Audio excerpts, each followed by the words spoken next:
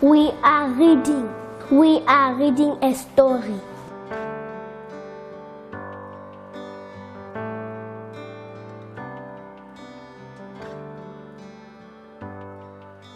Um, we are from the Grace Foundation. We are a registered NPO.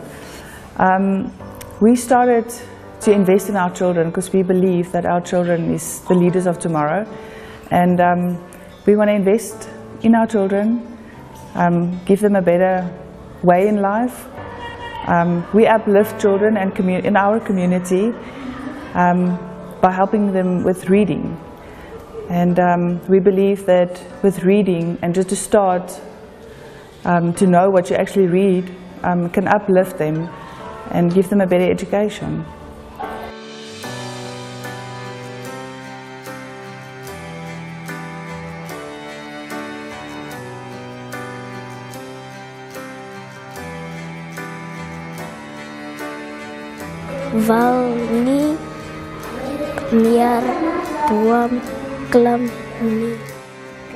Jy begin lees?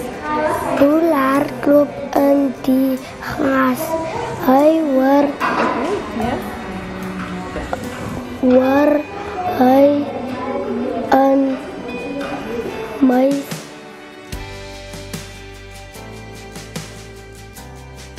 say for the last two school terms that we've started with this program, the children got more self-confidence. They the school attendance before we started with the reading centre was poor.